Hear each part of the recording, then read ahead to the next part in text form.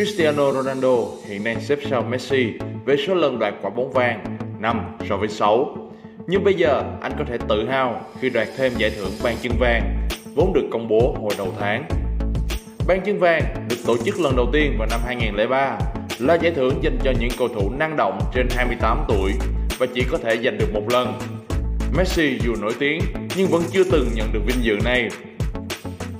Giải thưởng này từng trao cho những siêu sao như Roberto Baggio, Alessandro Del Piero và Ronaldinho. Ronaldo nhận được giải thưởng vào Chủ nhật và trông không còn có vẻ khó chịu như khi chứng kiến giải FIFA The Best 2020 thuộc về Robert Lewandowski vài ngày trước.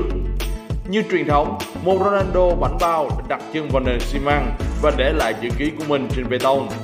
Việc Ronaldo giành được bàn chân vàng không có gì ngạc nhiên khi anh có phong độ rực rỡ trong năm 2020.